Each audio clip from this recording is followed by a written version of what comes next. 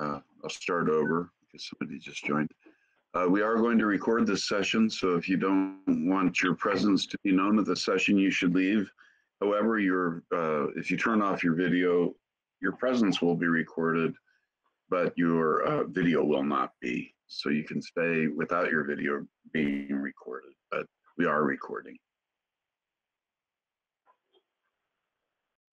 So actually, I should say that by attending, you agree to be recorded.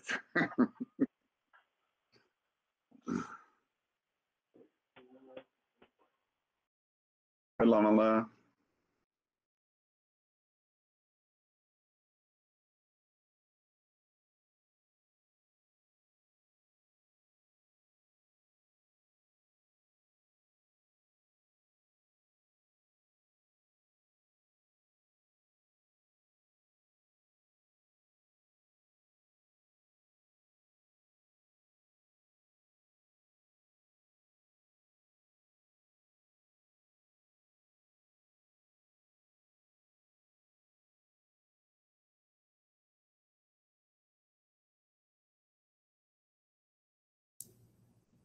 Mala. Mahung, good evening. All right, so um, uh, just we're officially not here because, like Governor Newsom said, I think we're having to be closed for three days. Is that right? I think so. Um,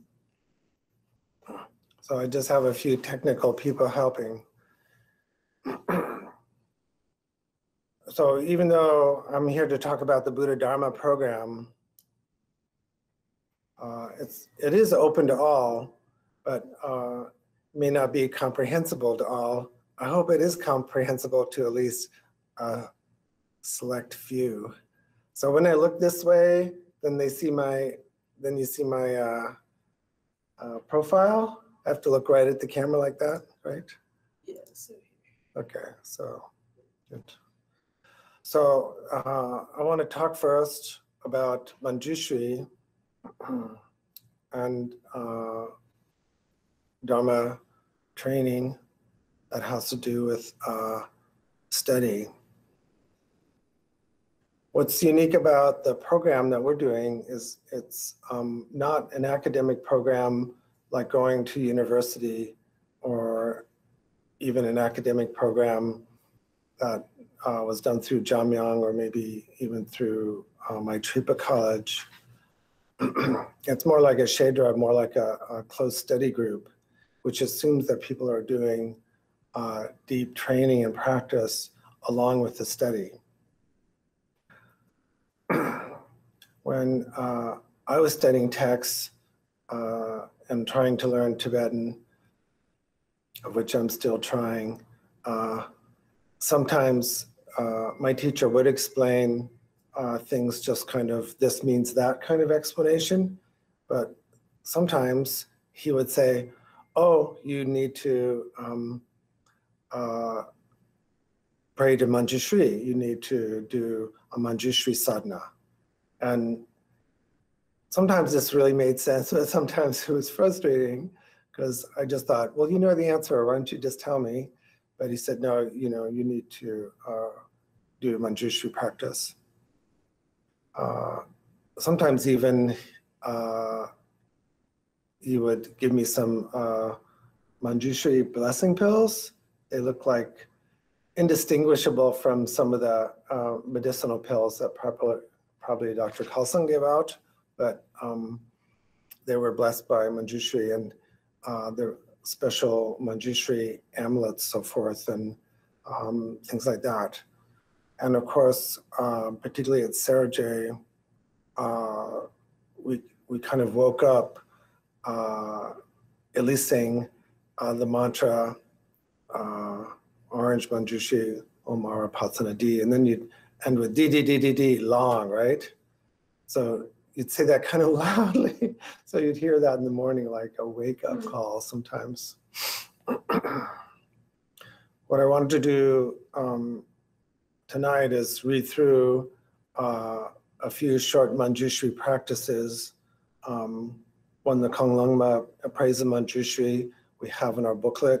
The other um, uh, Manjushri practices I have is um, a brief Manjushri sadhana uh, translated to English of Patrul Rinpoche's. and then also uh, a praise of Manjushri uh, poem by uh, uh, Mipam Rinpoche. So, and then uh, maybe a short uh, praise. Called A Healing Medicine of Faith by Khenchen Jigme Phuntsok. So uh, he was uh, a teacher uh, that I actually met and took empowerments from, uh, who uh, composed this on Wutaishan, the Manjushri mountain in China. Uh, he gave a series of empowerments uh, in Yountville at the the veterans home there. There's a large auditorium. It's quite special. It's very beautiful setting.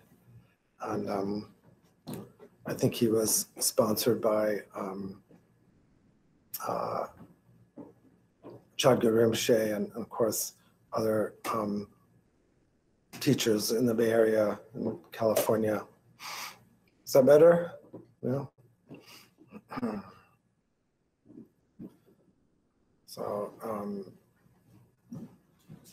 because of, uh, uh, so Chagdud Rinpoche is associated in my mind with, um, you know, His Holiness Jigme Phuntsok and also um, very famous teacher uh, that some of you may know. I know Dirk knows. Uh, uh, Kusum Lingpa is a very um, dynamic and spontaneous person.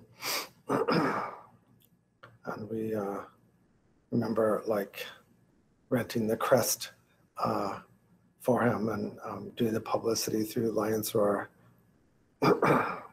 and these very spontaneous teachers, uh, uh, you have to be very spontaneous and patient uh, to do uh, the work with them and set things up. And um, I can say with a little boasting, you guys have it easy. so um, uh, that that's wonderful that uh, I have these connections, and so a little bit of a reading for you that, and then maybe at some point we can do the Manjushri practices together. I don't know if you have any of them, but we have the Kang Longma praise in the booklet we put together. So um, to read tenets particularly, um, and not just um, the Shastras, uh, it's important to be uh, in a different level of consciousness, right?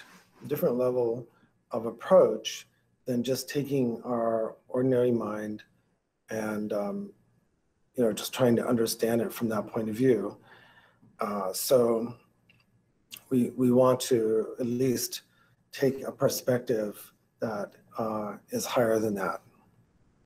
So the scholarship that we're doing here at Roar is dependent upon people doing um, the practices that enable us to experience uh, non-dual awareness, or it's just going to be more difficult.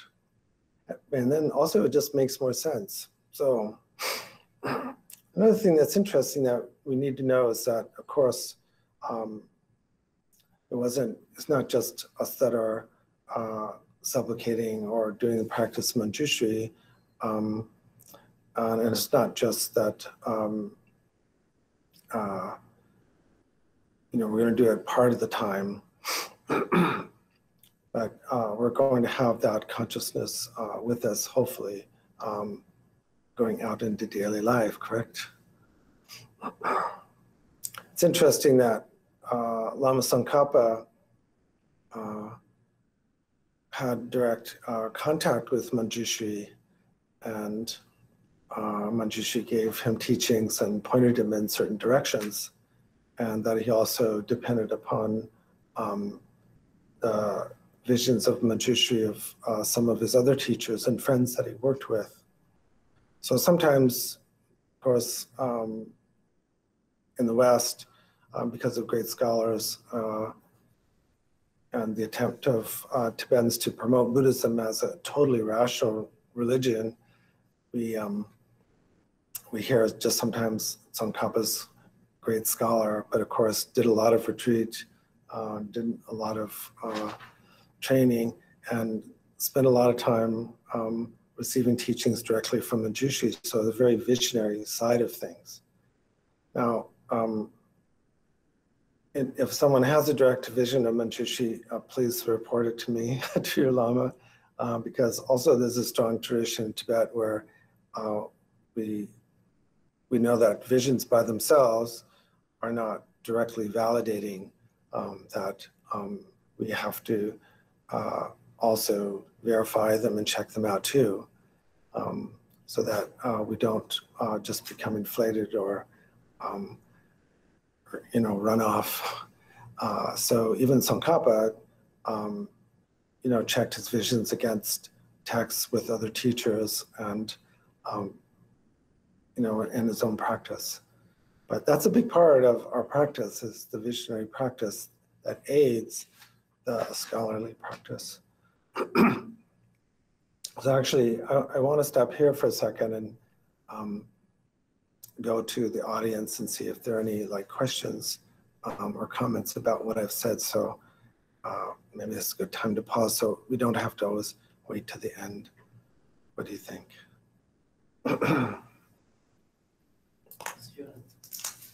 Time to just unmic. So I need to unmic. No, no, just tell them to, Oh, okay, so unmic if you have something to say.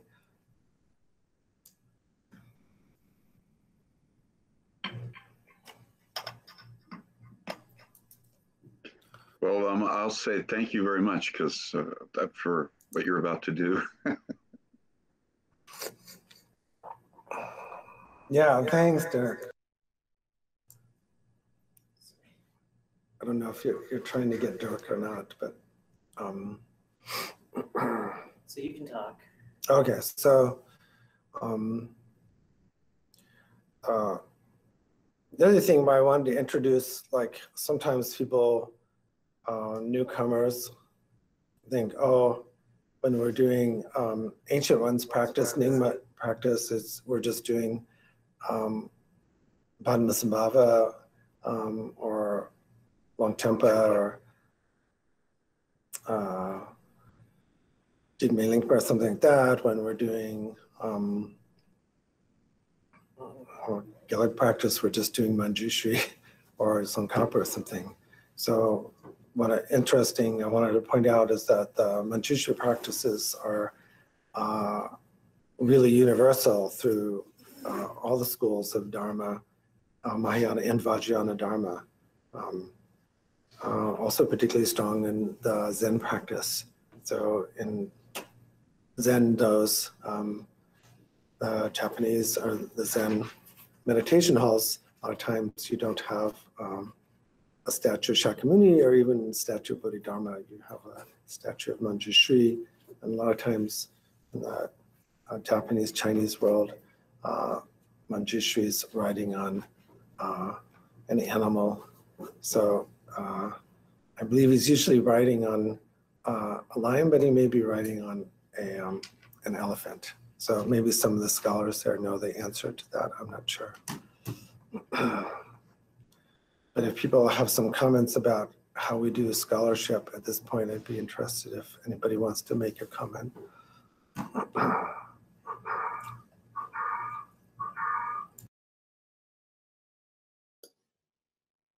Lama, it's Roberta, just with a question.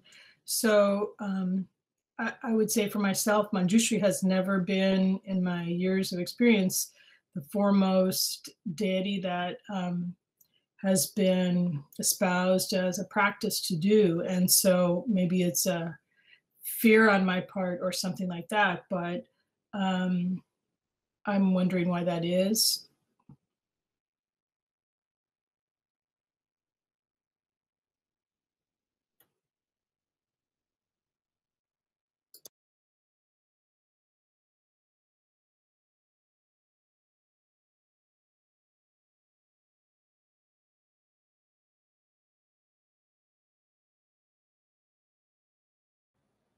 Lamala, your mic isn't on.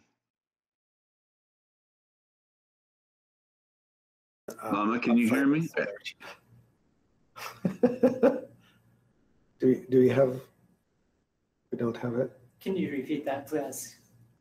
What did I just say? I have no idea. Okay. Yeah, so the agenda, yeah, thank you.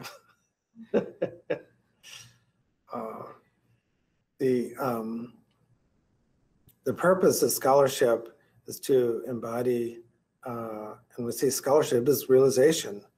Um, It's not just information, of course, or being smart or figuring things out. Um, So, uh, one of, one of the big byproducts that I was taught is that uh, scholarship, real scholarship, uh, real learning makes someone very gentle, like Manjushri.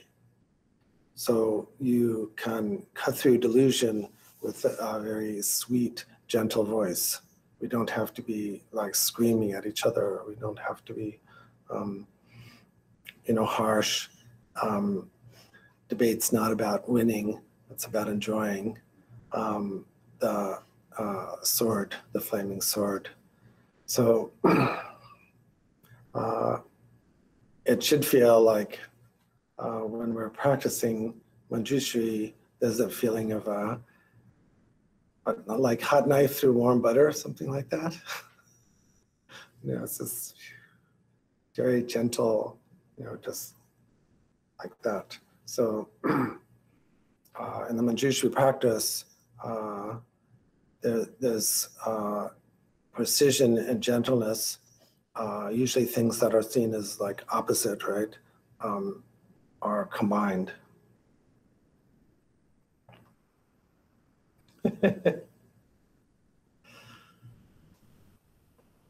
so uh, wisdom is defined in different ways. Um, so uh, because people have taken refuge from me, because then you have uh, Yeshe as uh, your first name, uh, which is the uh, translation for jnana, which is uh, non-dual knowledge. Um, the tenth, the tenth last paramita, the prajna, uh, so pra but plus jnana is um, sometimes discriminate uh, translated as wisdom. Um, but I spent a whole year talking with Dr. Gunther, who some people might have read, he said, no, no, you got to put down discriminating wisdom, um, wisdom that uh, is able to differentiate. so we have these different kinds of wisdom, uh, and eventually we have, of course, like practical wisdom. So uh, Manjushri, particularly with a sword, represents not just the intellect, but the ability to um, uh, cut through. So uh, we're not going to talk about Dzogchen tonight, but some of you know, like one of the main uh, um, forms that we call cutting, cutting through. so Manjushri, uh, uh, we had a Manjushri initiation with uh, Council Rinpoche, and uh, I I found uh, Manjushri Tanka from my friend in Davis, um, Hera Sakya, and uh, we have it on the side here. Um, so uh, I'd like a Manjushri statue too at some point. So let's ask another question too.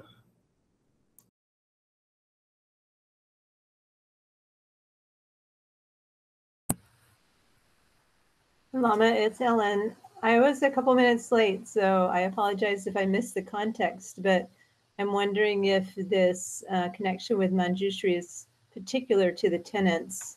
I heard you say that it's good to have this practice if we're going to study the tenets, but is there more connection beyond that?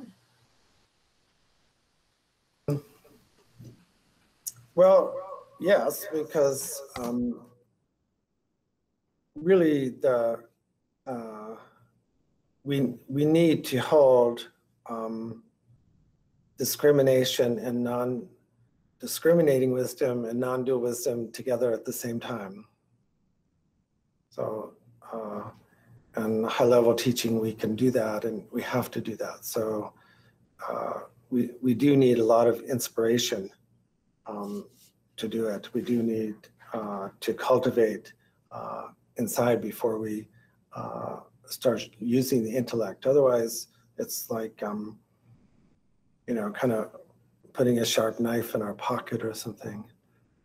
So uh, we'll be spending time on tenets, you know, all the cutting, you know, cutting through appearances, and then we have unique tenets school, and um, well, uh, hopefully not. There won't be too many tears. Hopefully, people will go, "Oh, I'm in, I'm enjoying uh, this very fine um, uh, practice of um, taking the stones out of the rice."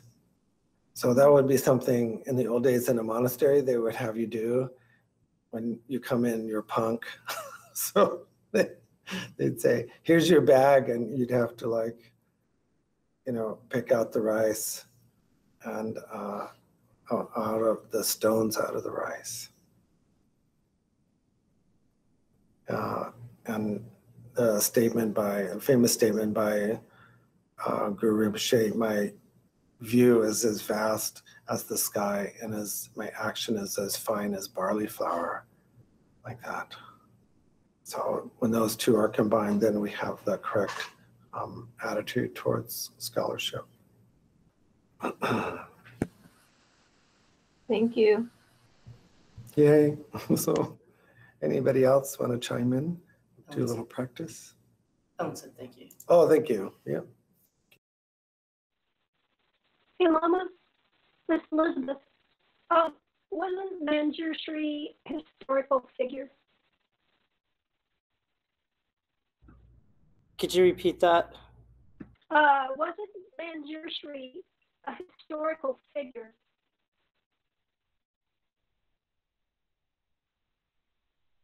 uh, well what kind of history are you talking about you know like that's important Oh, uh, wasn't he? Are you uh, talking about like, uh, you know, the Battle of Hastings kind of history? Um, Oh, with no, Manjushri and the Bodhisattvas, we're talking about Mahayana history, of course, right? So which is different than, um, uh, you know, uh, conventional time history. Can I make a comment? Sure.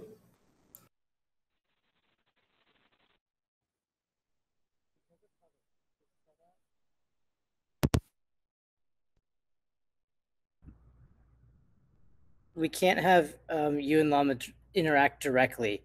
So I'm actually unhooking the microphone and the headset that I have so that Lama can listen to you and muting Lama's camera.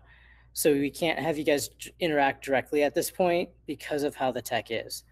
So um, it's sort of a delay.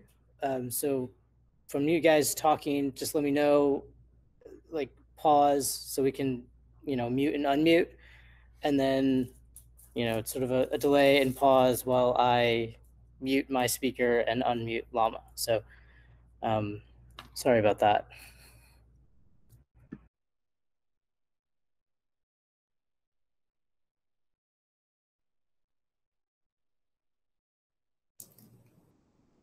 You're unmuted.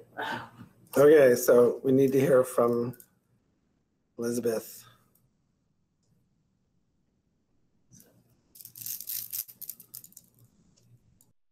uh, wasn't Manjushri one of the early followers of the Buddha? A, a historical figure.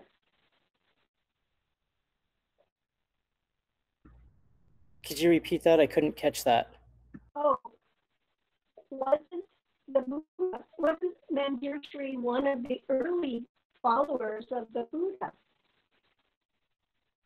A historical figure.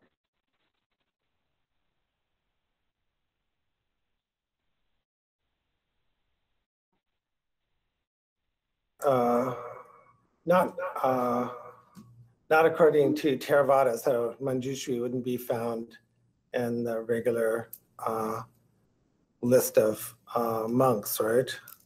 Um, so Manjushri is a, a Mahayana figure. so we could say Mahayana history, right? Um, many of the Mahayana sutras uh, are given at Vulture Peak. Um, I'm not sure exactly where um, chanting the names of Manjushri that, tang- that uh, Tantra is given, but uh, sometimes it's given at historical place. Sometimes uh, it just emerges from awareness, right? So uh, it's important to know that when we're reading the uh, text here, th- there's a kind of timelessness about it. Um, but uh, at the same time, they may have been given at a certain time. For example, when when we're reading the shastras that Asanga uh, composed, uh, we would uh, see them as um, channeled uh, from uh, the Tushita heaven where Maitreya lives. So um, that's important. And also from a sacred point of view, we're not reading texts or doing practices that we haven't heard directly from our teacher or, or a qualified teacher, right? So that's why I'm going to read out some from from you, you know.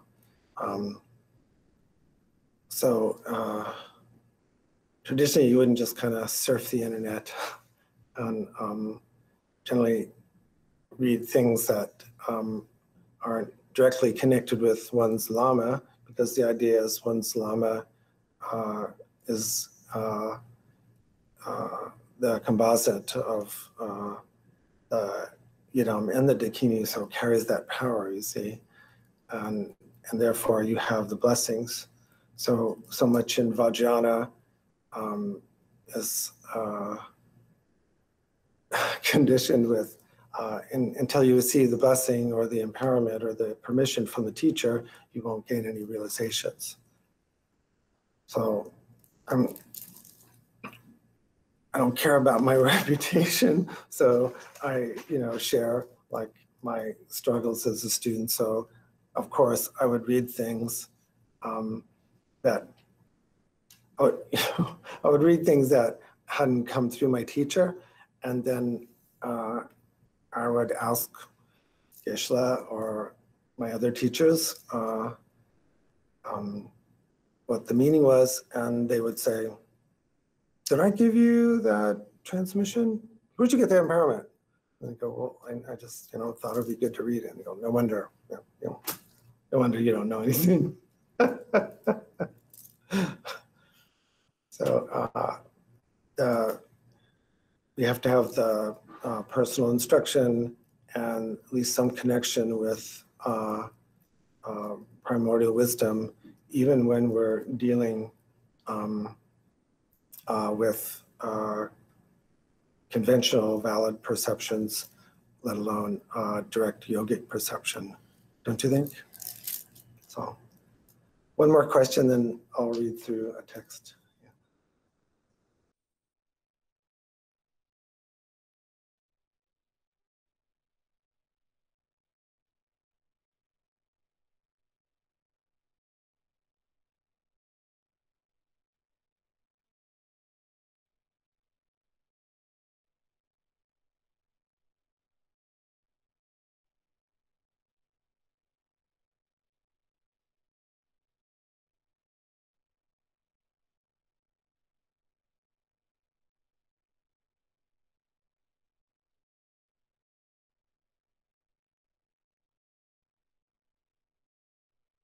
For people's benefit, uh, I'd like to read through the um, very famous called Praise of Manjushri, the Angloma.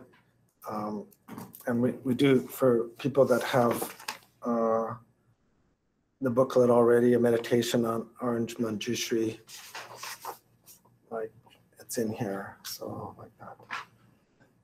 Presenting it. Who is? Oh, okay. So when you say you're presenting it, what does that mean? You have to read it? No. Oh, it's not on yet.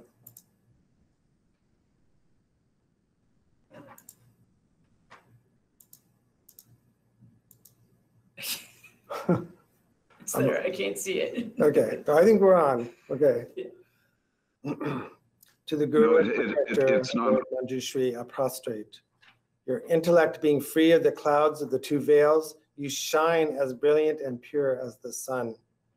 You hold a book to your heart because you see exactly all meaningfulness. You love as much as an only child, every being, all of us afflicted by suffering, being enveloped in dark ignorance in the dungeon of existence. Your speech has 60 melodious qualities.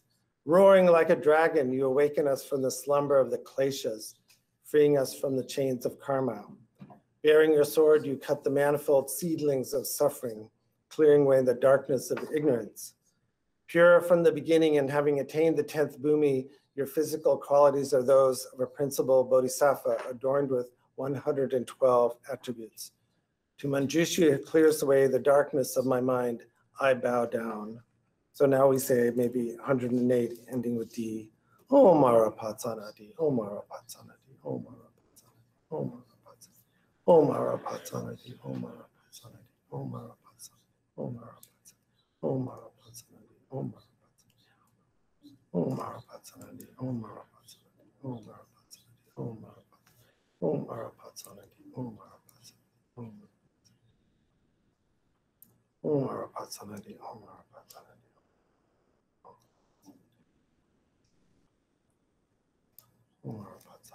Om Rapatsavani, Om Rapatsavani, Om Rapatsavani, Om Rapatsavani, Om Rapatsavani, Om Rapatsavani, Om Rapatsavani,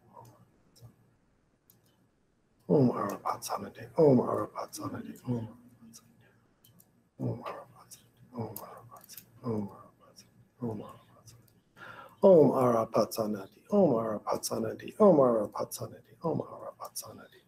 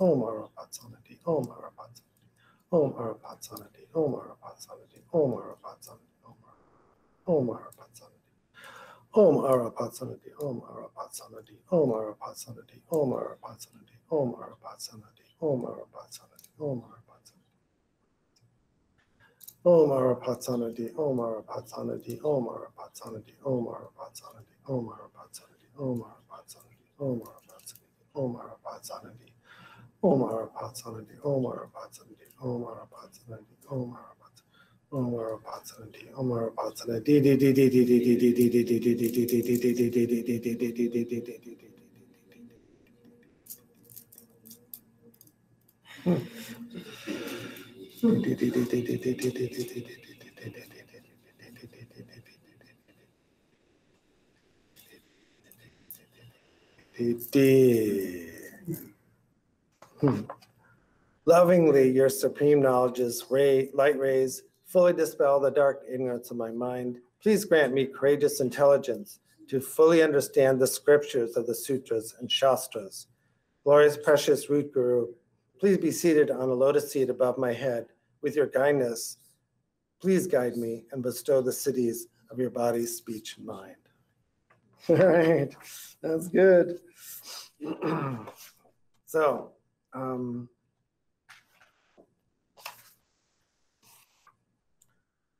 then uh,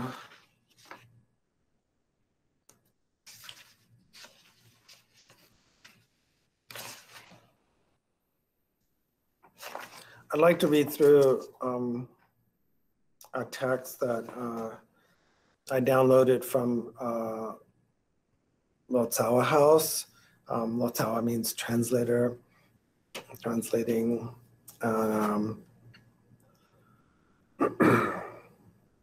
uh, this one is uh, a brief Manjushri sadhana by um, Rinpoche. Of course, people that have done some retreats up at um, Lotus View know that I'm fond of uh, Rinpoche. Um, and uh, he composed many texts. So this, this is findable on the uh, Lotsawa House uh, website uh, uh, called Brief Manjushri Sadhana by uh, Patrul Rinpoche. It goes like this. In the Buddha, the Dharma, and the Supreme Assembly, I take refuge until attain enlightenment. Through the merit of practicing generosity and so on, may I attain Buddhahood, for the benefit of all beings. May all sentient beings enjoy happiness and the cause of happiness. May they be free from suffering and the causes of suffering. May they never be separated from the sacred happiness devoid of suffering. And may they dwell in boundless equanimity that is free from attachment and aversion. Om Sabhava Shuddha Sarvadharma Sabhava Shuddha. Out of a state of emptiness upon a lotus and moon disk appears my own mind as D, from which Manjughosha arises. Orange in color, with two hands holding a sword and a volume of text. He wears jewel ornaments and silken garments and is seated in the Vajra posture. At his heart, upon a moon disk, is D surrounded by the mantra garland.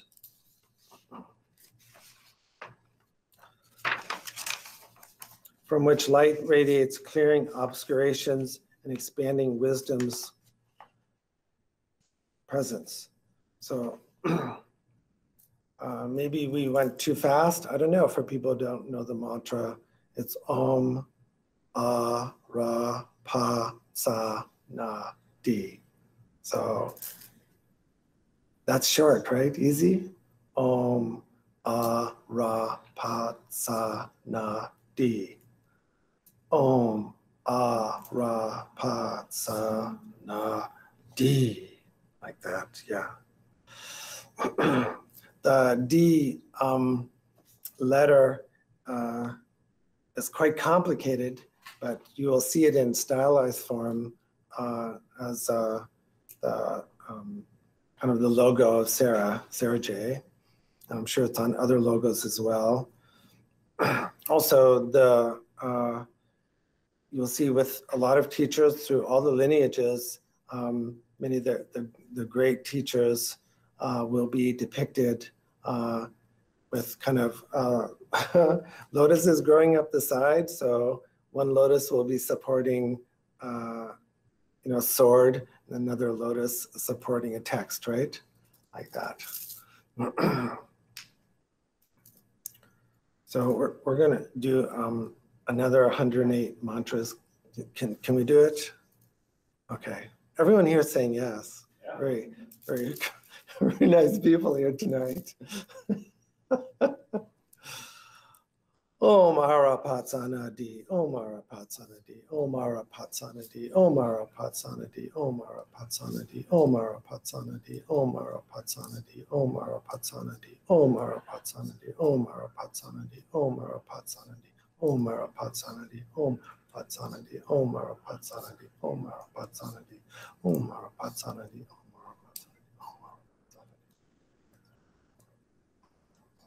Omara Patsanadi, Omara Patsanadi, Omara Patsanadi, Omara Patsanadi, Omara Patsanadi, Omara Patsanadi, Omara Patsanadi, Omara Patsanadi, Omara Patsanadi, Omara Patsanadi, Omara Patsanadi, Omara Patsanadi, Omar Patsanadi, Omar Patsanadi, Omar Omar Omar Patsanadi, Omar Patsanadi, Omar Patsanadi, Omar Patsanadi, Omar Patsanadi, Omar Patsanadi, Omar Patsanadi, Omar Patsanadi, Omar Patsanadi, Omar Patsanadi, Omar Patsanadi, Omar Patsanadi, Omar Patsanadi, Omar Patsanadi, Omar Patsanadi, Omar Patsanadi, Omar Omar Patsanadi, Omar Patsanadi, Omar Patsanadi, Omar Patsanadi, Omar Patsanadi, Omar Patsanadi, Omar Patsanadi, Omar Patsanadi, Omar, Omar, Omar Patsanadi, Omar Patsanadi, Omar Patsanadi, Omar, Omar Patsanadi, Omar Patsanadi, Omar, Omar Omar Omar Patsanadi, D D D D D D D D D D D D D D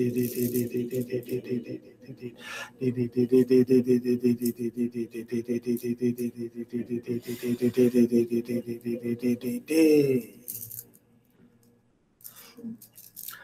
uh, Adramshe's instructions uh, say do as many times uh, as possible. So um, uh, it, would be a lot more than 108. Add a few more zeros, I'm sure. Hewitt, if he was here, he would say like, uh, okay, um, uh, go away and come back after 100,000 or a million or something. But uh, his instructions say uh, recite chanting the names of Manjushri, the Namasamgiti. Um, this is something uh, that we will go over together sometime, maybe next time I talk. Um, this is one of the first things in many monasteries uh, the young uh, monks and nuns would memorize. So uh, when you first get to a monastery, um, they obviously don't just give you text to do. You just have to memorize until the blood's coming out of your ears. You're you're not really seen as kind of the real thing until you've memorized these basic uh, prayers and these basic texts. And everybody does things um, uh, out loud. That's traditional. So people are reading out loud, which is kind of different for us, right? We're used to kind of reading silently and memorizing, right? But um, monasteries are not retreat centers. Retreat centers are retreat centers. Uh, monasteries, like there, there'll be people, uh, students, walking around 11 o'clock at night out loud, just reciting stuff. it's really interesting. You know, they'll just be walking, like, you know, talking out loud, right? Because that's the only way to do it. They're not just reading texts and and repeating them silently to themselves. Apparently, it works, right? It must work because people can remember huge amounts. So um, that's another thing uh, for you, um, uh, discipuli, for you scholars. Then uh, you might try, uh, like with uh, tenets, let alone the shastras, actually just say them out loud just get your book out and like read through it like you're proofreading it, okay? Just read it out loud. Just read it out loud. Go over it and read it out loud. So like that. So if you're living with someone, they will they will think you've lost your mind. Um, so they may have already known that, figured that out. So you should be okay. But you know, reading it out loud, even read some of the charts I've given. Read them out loud. So you know it sticks in, right? Good idea? Okay. then, um, yes, questions. Question. Who has a question? Yes. Hmm.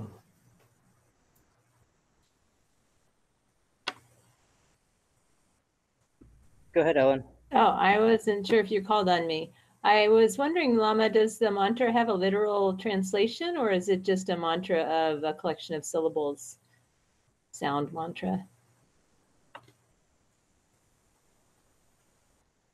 You can look it up. Tell me what you find. Homework. Okay. Thank you for that invitation. I'll do that. Is that okay? Yes, sir. Definitely. Dirk has a question.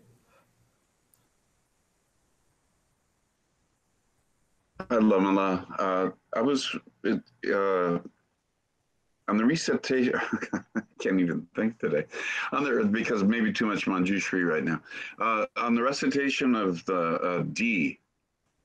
Uh, should we continue to recite it while we breathe in and breathe out, so that we continuously recite it, or is that not a good idea?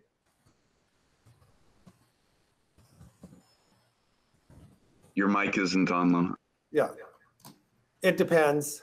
So uh, a lot of times, you know, people just whatever breath they have, but you could you could do it longer. So you you could be kind of breathing in and breathing out while while you're reciting it. Um, so sometimes I do both. Uh, generally, generally it's done really loudly. So you need you need some breath. But you could do either one, just whatever breath you've got, um, or you could go a little bit longer like that. So it's interesting. It's an interesting um, breath control situation, you know, like that. So um, I can't say that I've attained any siddhis as a result of it, but I'll just tell you a story is that when I was um, uh, working at a group home uh, with um, these young men, my, my young murderers, um, uh, of course, I just looked like a wimp, but you know, so they would have done all these fantastic things um, that I haven't done. Um, and I was trying to figure out a way that I could show that actually I had some strength or some cred or something, because just white kid from the suburbs, you know, like that. So I um, uh, decided I'd, I'd do a contest where I could uh, do a sound uh, longer than anybody else. So whatever sound they wanted to pick, like, you know, I suggested some like a home or ah, but D, you know. So I, I beat them all. that was that was a long time ago. Don't try me on that now. But you know, then uh, you know, there, there was some respect there. Whoa, you could do it. Yeah. So uh, it is important, the mind, you know, doing uh, uh, the uh, inner tantras, the, uh, doing the Vajrabody, um, doing working with the winds, uh, then uh, having the sound and the breath and the mind coordinated for long uh, for a long time can be very helpful. I like that. Uh, could I follow up with that? Uh, Sometimes you have, when you're working with teenagers, you have to demonstrate miracles, don't, don't you think? Like that. Dirk has a follow question. Okay. uh, you know, I w- uh, so are you saying that it's good to, when, when you're talking about doing it not on the in breath, with what breath you have, is it good to go d d d d d d d d d d to all of the breath and d d d d d d d because I was really yelled at for doing mantra that way. So that's why I'm asking. Um, it, it's preferable to do it just one, one long breath. Yes. Um, you, uh, you, you had some wonderful teachers who were willing to scream at you. So that, that has paid off, hasn't it? You know, so yeah. So they trusted you. Otherwise, they wouldn't have said anything. But yes, it's, it's uh, when, when we're teaching people, um, uh, sometimes if all they have is a few D's left in them, then you have to give them the opportunity to um, do another breath. So um, uh, here at Lion's Roar, of course, if we did everything um, kind of on retreat level or monastery level, um, I wouldn't have you know very few students at all, right? So uh, although you're all coming up, okay, you're coming up, but um, yeah, so it is traditional just to try to do it all one breath like that. Does that make sense? Uh, yeah, but you're but you're not taking then another breath and doing it again. Is that what you're saying? So I guess I don't understand really. Dirk, could you repeat that, please? Ah,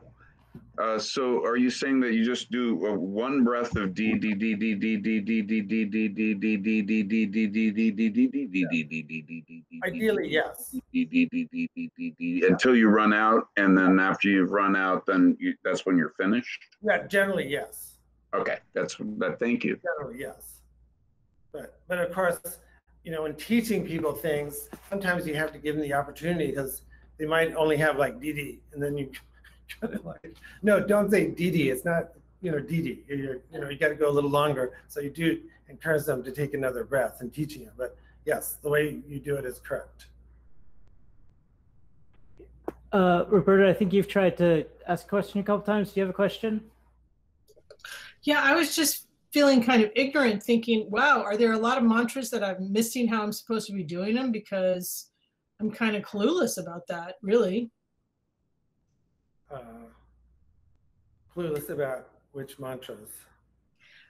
I don't know about any of them that I've said over the years, you know, like, am I supposed to be like holding my breath in or out or I don't know, but I'm certainly understanding about DDD now. Okay, there's a lot of different ways to do things. Of course, sorry, a lot of different ways. So um, uh, that's important to know. You know, there, there's, you know, if if you kind of, you know, get within the zone and we go over it, you're probably in you're probably in the right bandwidth. You know, but there's so many different ways, you know, styles of doing, like for example, doing seven line prayer and and things like that even in the same monasteries. So it, it's it's important to know that you know sometimes variety is okay, and also there are lots of Tibetan stories about people that have gained uh, realization through doing the mantra wrong, and then you know somebody comes up to them and say, "No, you're doing it wrong. Do it this way." And then when they do it that way, nothing happens. So there are lots of stories and jokes about that. So we can go over it, okay? Should I take from that then it's really about my intention that it's uh is what is most most important about that? Well, yes and no. You know, I mean, like if somebody, you know, we, we if somebody's talking to us, uh, we we want to hear exactly what they're saying. So if they're saying something significant like "I love you," we and hear like "I love you," then we, we do want to hear it exactly, right? So it's not black or white. I mean, you want to get it in there enough so that somebody goes, "Oh, okay, that's what you're doing." but there's there's a real strong difference even in Tibet between, you know, Amdo and the rest of Tibet, and you know that's a long story. But you, you want to be kind of in the right zone, right? Okay. Thank you. Yeah, we'll talk, right? Okay. Okay. Good.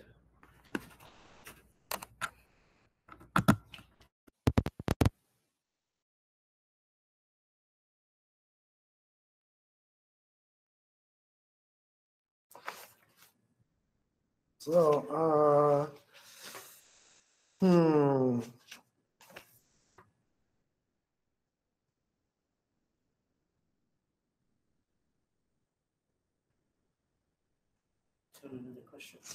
Is there another question? All right, okay.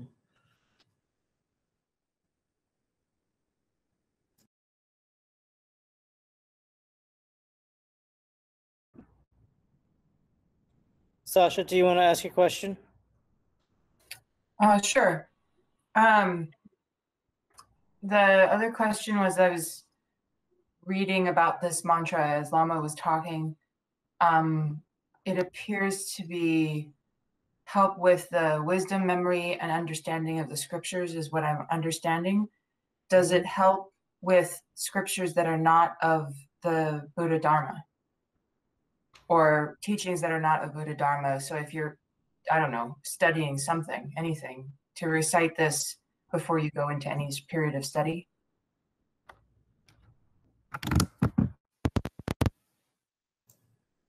Um, yes. So, uh, when um, uh, I was studying, like, uh, my teacher talked me into going into grad school, right? So, uh, then I had some exams and papers. So, uh, these are just secular topics, right? But virtuous ones. But so, yeah, you do Manjushri practice for tests, particularly, where you had to remember something.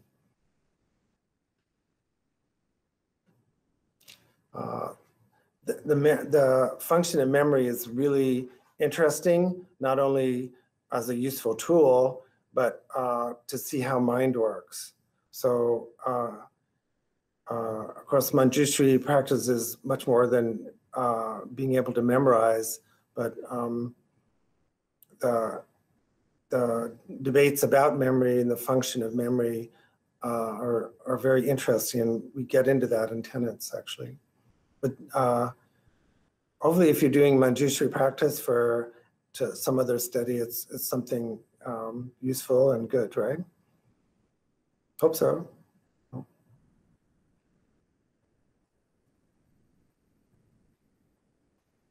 Hmm. Okay, so uh, we have time for another um, text. Um, uh, this one, uh, uh, Mipam Rinpoche, uh, who lived in 19th century. Um, We've done some things with Mipam Rinpoche before, but um, you can look up the biographies later. I'd like to read out uh, what's called In Praise of Manjushri, the Great Treasure of Blessings.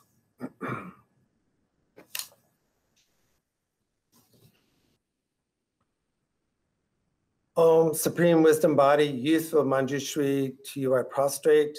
Powerful Lord of gentle and melodious speech, to you I prostrate. Wisdom being with a mind of perfect knowledge, to you I prostrate. Auspicious coincidence of all the Buddha's wisdom, to you I prostrate. Wielder of the sword of wisdom, to you I prostrate. Holder of the lotus of skillful means, to you I prostrate. Shooter of the piercing arrow of knowledge, to you I prostrate.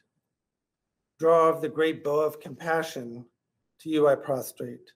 By remembering you, my Lord and protector, Manjughosha, and praying with devotion from the depths of my heart, guide me and care for me in your great wisdom, and cause the eight great treasures of my courageous eloquence to be released, I pray.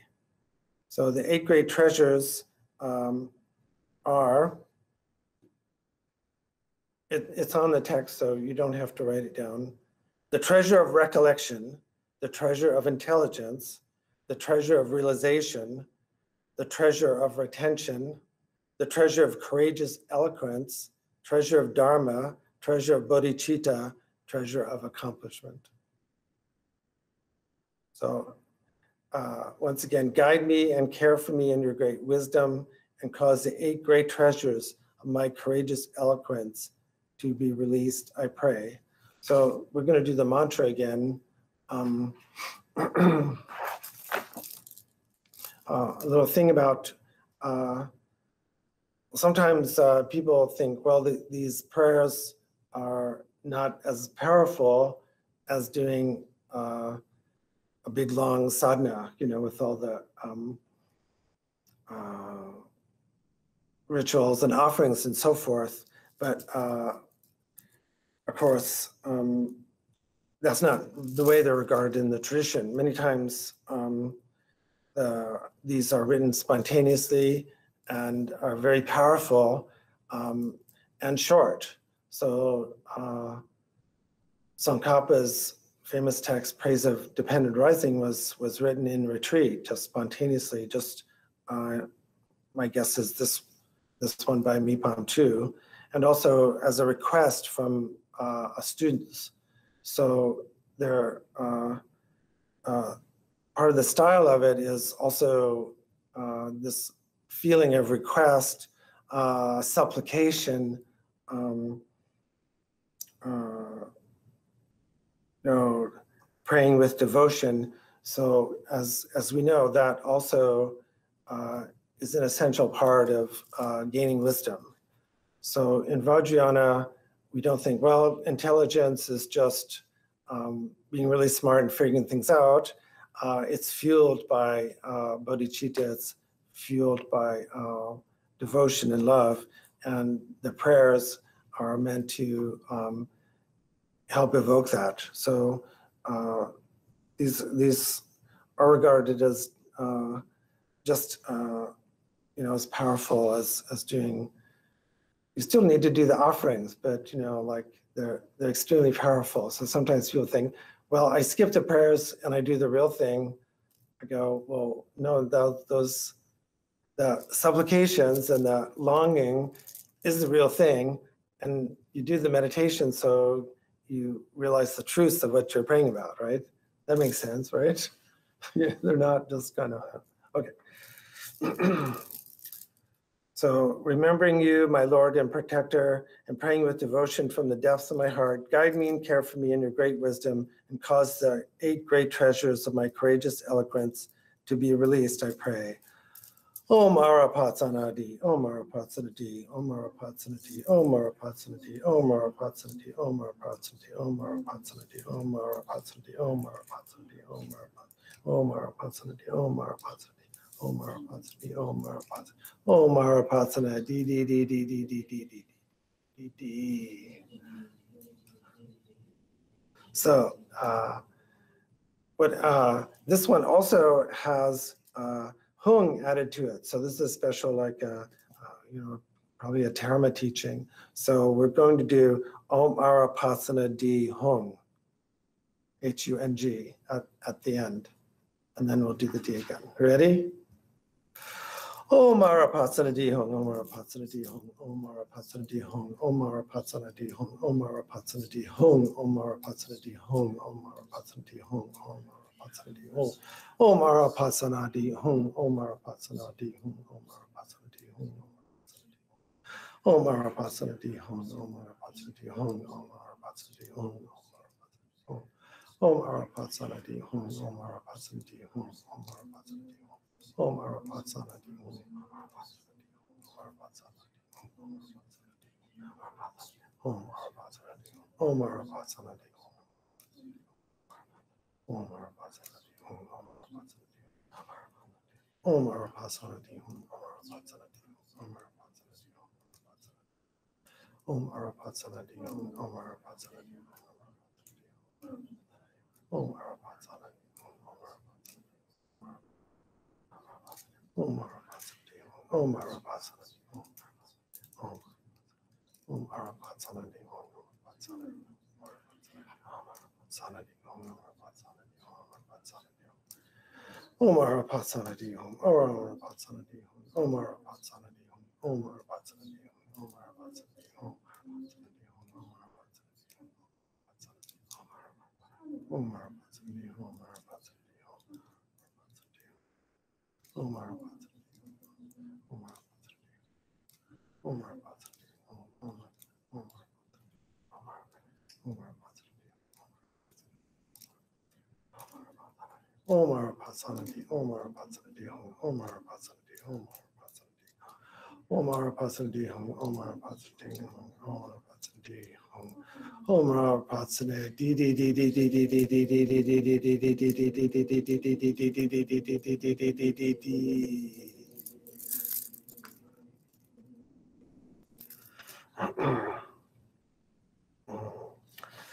So it said in the um, uh, text, written by the one called D during a session in a retreat focused upon the great and glorious subjugator on the first day of the ninth month of the Iron Snake year, 1881.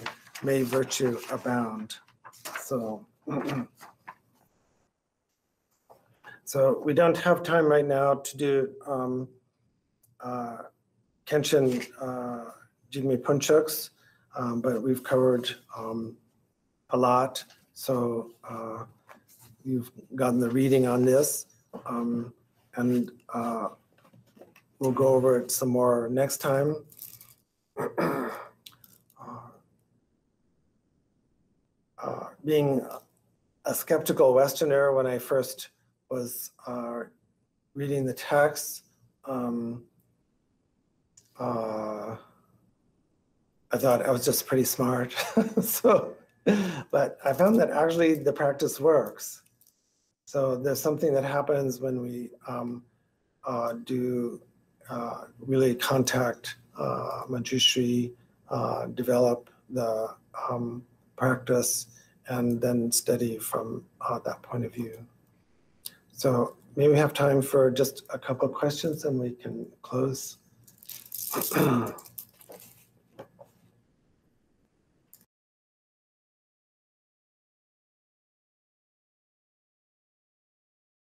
Uh, Lamala, uh, it's Dirk again. Do you uh, know where we could get the text of the names of Manjushri?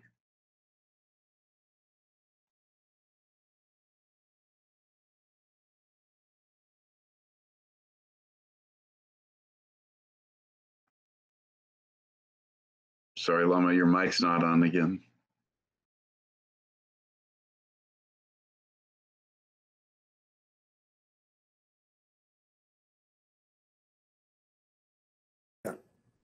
Okay, there, so.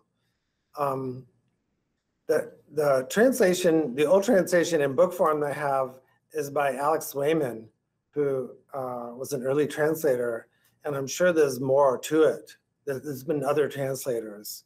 So it'd be interesting if we could find that. I'm sure it's been retranslated because it's so popular. And uh, so I'd be interested, we could both look for that. That would be nice. It's a really strange text, uh, you know, um, if you're reading it, it doesn't, um, anyway, it's strange in a good way.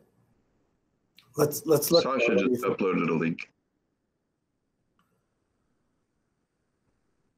I don't know if it's accurate. It's from FPMT. I just did a search on it. I could be providing incorrect information.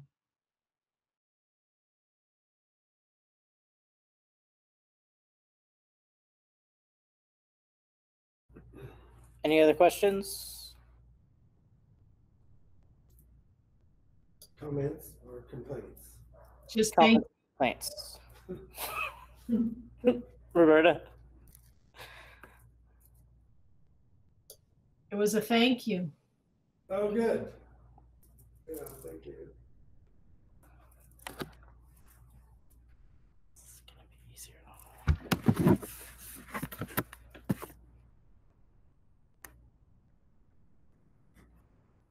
Let's see if I can just do this.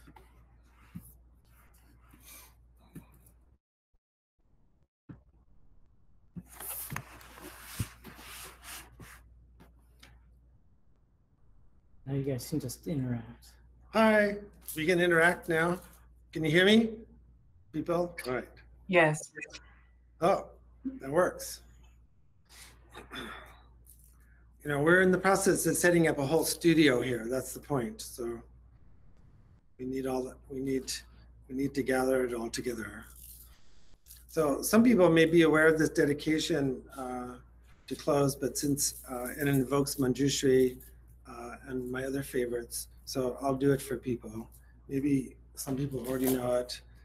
May my Buddha Chitta mind arise like Avalokiteshvara. May my wisdom rise like Manjushri. May my mind transcend all duality and become spacious like the sky. May all the qualities of Padmasambhava's body, speech, and mind become dissolved and become inseparable with myself. May I dedicate all this enlightenment to everyone. Om Ahom. So we, we can type that up and hand that out too. Yeah. All right. So uh, I think uh, we we should uh, stop here because my voice is gone. But um, but uh, it's important uh, if people still have the text uh, of on averting the diseases of Shakya by Thangtong Gyalpo, right? So um, and uh, you know other. Uh, what else do we have for averting disease, right? Who else do we have? The prayers. Um, I have one by Dudjom Rinpoche, uh, the Dudjom reincarnation. That's good. Could you could you read that out for us, and and we'll end there. Uh, sure, it'll take me just a moment here Yeah. to uh, load up the program for it. I want to remind people that uh, country of Jim Brewster. Oh, okay. Yeah. So while Dirk is looking, um, kind of reminded me this uh, Thursday, 7:30 our time, right? Um, uh, Councilor Rimshay will be giving uh, maybe just 20 minutes, but very concise talk on introduction to Tantra. So I'm very interested to see what he has to say. Um, and uh, if you can't tune in live, I mean, I, I know it'll be posted somewhere, right? but uh, I'm looking forward to that. Okay, I have it whenever. Yeah, we're ready. Okay. And now, of course, I clicked on the wrong tab. The fierce power of desire and attachment. Uh, I'm, I, am going to start over. This is a prayer to swiftly pacify the sudden contagion of pandemics by His Holiness Dudjom Rinpoche. This was written in April of this year.